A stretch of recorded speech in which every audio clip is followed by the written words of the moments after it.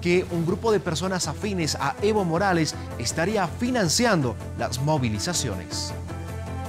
El ampliado nacional ha sacado, eh, evidentemente, en uno de sus puntos, sancionar y expulsar a Evo Morales por sus actitudes divisionistas, por atentar y por pisotear a la constitución política del Estado, a lo que significa el estatuto orgánico de la Confederación de Campesinos, aunque él nunca ha sido campesino, ha sido colonizador.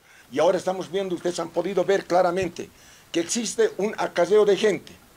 Bolivia no es el Chapare, y no puede ser que gente del Chapare estén llevando los diferentes puntos del bloqueo pagados. Ustedes han visto, los diputados, los, asambleístas, los eh, senadores de Evo Morales están yendo a financiar todos los bloqueos que están llevando adelante ellos, supuestamente, entre comillas.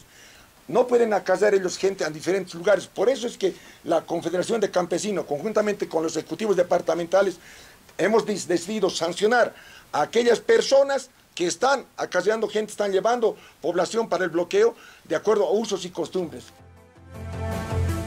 Y bueno, continuamos con más información a esta hora de la mañana porque el próximo lunes el presidente de la Asamblea Plurinacional, Legislativa Plurinacional